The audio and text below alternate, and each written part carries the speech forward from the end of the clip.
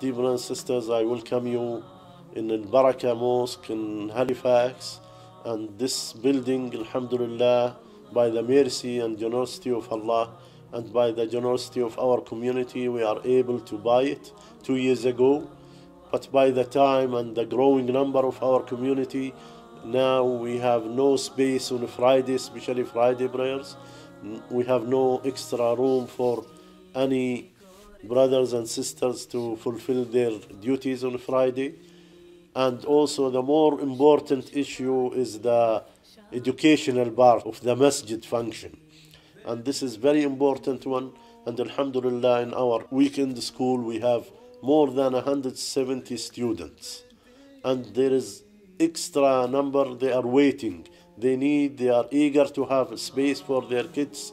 So inshallah, I ask myself first and my brothers and sisters to be generous and to give in the way of Allah.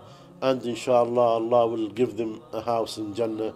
May Allah help us all, protect us all, and give us all khair, inshallah. Jazakum Allah khairan.